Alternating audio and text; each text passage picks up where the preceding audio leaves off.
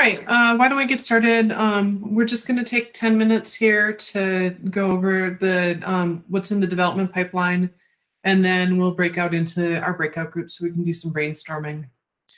Uh, so first off, where do you find out what is in development? Um, I, I, know that we've kind of touched on this earlier in, um, in the uh, workshop, but just wanted to, you know, bring it back home again um, here. So basically, um, if you want to know what we're working on at any given time, um, you can go to um, the D DTC GitHub.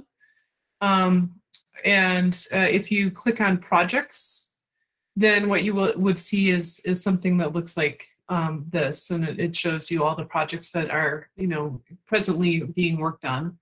Um, I personally find it easier to hit sort over here on the, the right-hand side um, so that I can see all the different um, projects that are in play. You'll notice here the screenshot that I took, all of these start with MET, MET, um, and then they have, you know, numbering and then some additional information.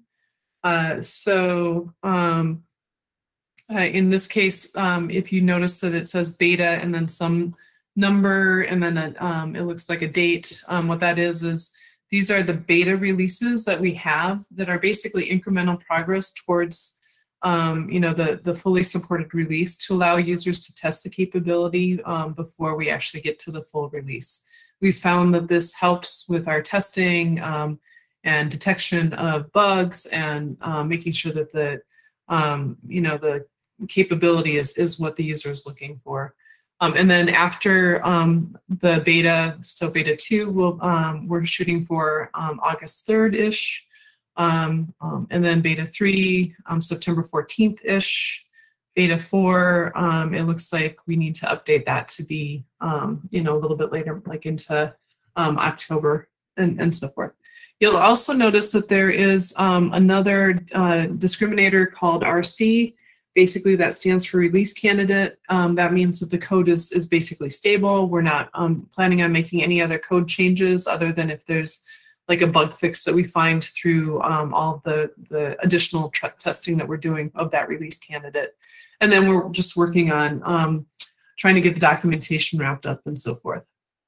So um, this is what it looks like for MET.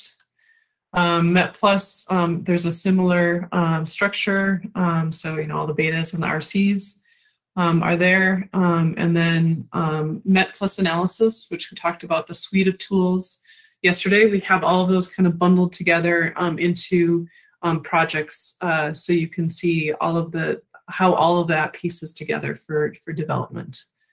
Um, so um, once again, just, you know, if you want to stay abreast of, of what we're doing, um, this is where you can go is GitHub Projects, the DT Center um, top level projects page. If you were to drill down into um, those uh, different projects, um, you'll see here I have two examples of uh, beta. So the MET Beta 2 it has one display that is more like a Kanban board sorry about that, um, um, where it shows, you know, what's still to do, what's in progress, what's um, through in the pull request um, process, and then what's been done. So that's one way of looking at um, how things are proceeding. Um, the METplus um, beta 2 board right now has a, a slightly different layout. It's more in terms of a list.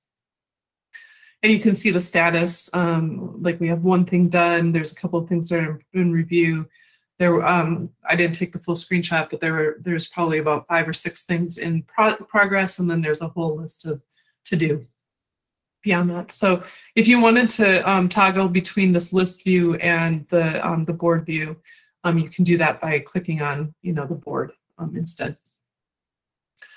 Uh, okay, so then um, what's coming for next year um, across you know in the next year?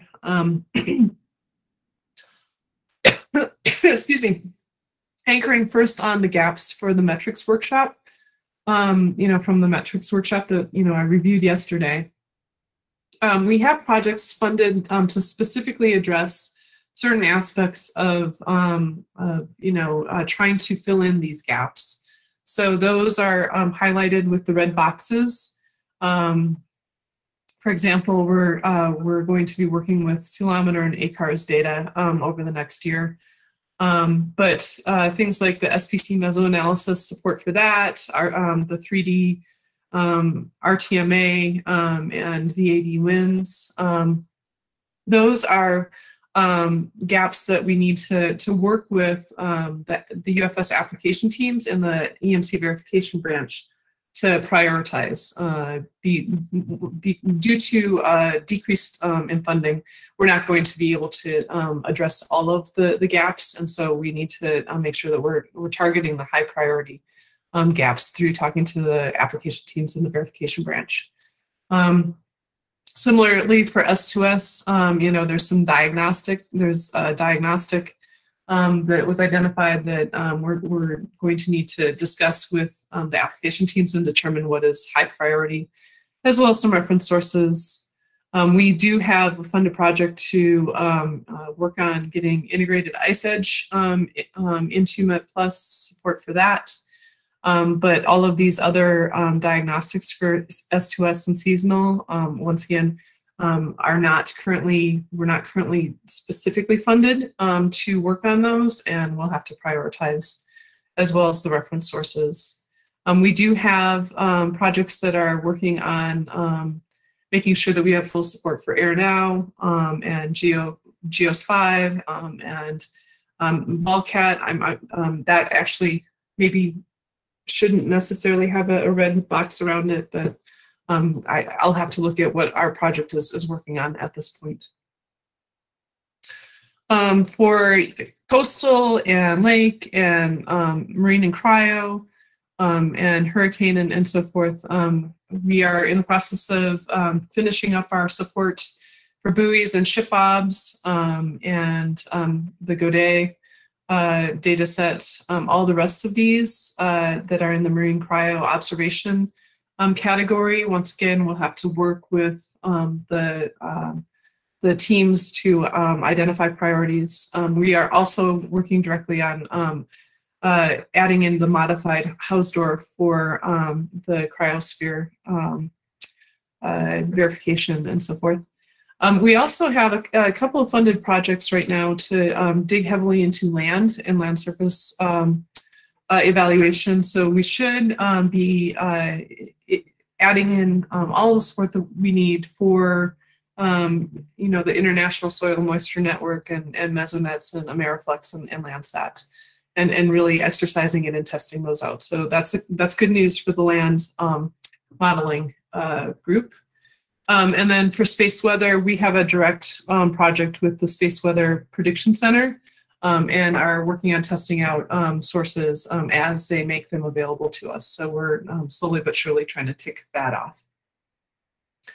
Additional topics out there that uh, I was able to pull my memory and looking at a few proposals are we, we are working on support for unstructured grids and non-standard projections. That's a focus of one of the breakout groups um, extensions of the ensemble verification techniques, um, you know, uh, doing a lot more work in that area. Enhancement of mode time domain to include the multivariate approach.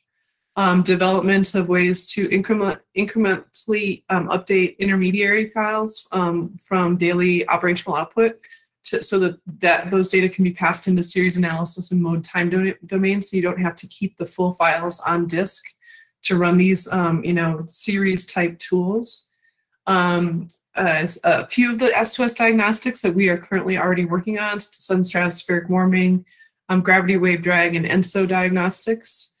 We're looking to transition the plot tcmpr.r um, um, script that was talked about earlier today to Python, um, and that will provide thing, uh, uh, measures such as the frequency of superior performance and other capability.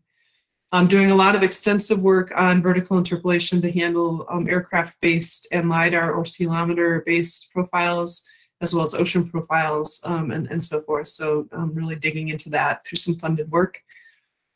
Um, uh, doing additional optimization of tools with parallelization.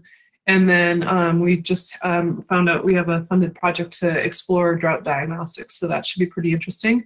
We also just found out we um, have a, a, continuation of our project with um, the Climate Prediction Center, Um, so we'll be working heavily in in the areas that they need for uh, evaluation as well. Um, so just really quickly, um, I'll go over this and then we'll see if there's any questions um, that people have.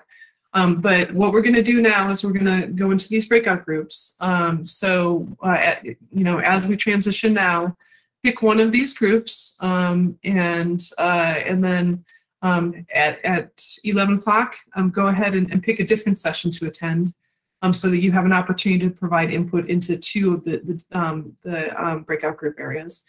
And then we'll return back to this plenary, this meeting right here um, at 1145 to get report outs. So are there any questions? Um, does this uh, profile work include the support for the new BUFR soundings from Marion? Um, I can see that we could um, have those soundings as a, as something to test out, um, you know, as we're developing that. So yes, I, I would hope that we could um, roll the BUFR soundings into that as well. Um, and Eric, you raised your hand? Yeah. In the instructions, it said there would be a couple of Google Docs Right, is there a link to those? Um, yes, so if you, uh, let's see. Sorry, I'm posting a link to the breakout folder in the chat. Okay. Um, so uh, that's exactly what uh, um, what okay. Julie's putting there. But basically, if you go into the top level um, workshop drive, and go to breakout groups and go to metrics, uh, excuse me, go to future needs um, breakouts, then there there's just a you know uh, a set of um, Google Docs. Um, so for you, you know, you would go to cutting edge novel um, breakouts um, okay. topic. Okay. Yeah. And it said which which is the overall one? It said there were two, right? Yeah, there's um there's an A for the first half hour, a B for the second half hour, and oh. then there's a report out as well for each one. So the report out start with report out followed by the name. Uh, actually, I guess there's just one. Re- yeah, A and B. There's one report out for for oh, each okay. um uh, set of breakouts. Okay. All right, so why don't we um, go ahead and, and um, you know jump into our breakouts? You know, uh, it, clearly we'll, it'll take a, a couple a minute or two to to get into there. So, um, but it'll still give us 25 minutes to do some brainstorming. So, see you in a breakout session. And I'll stay here in this main session in case anyone has questions for a little bit. Awesome, thank you, Julie.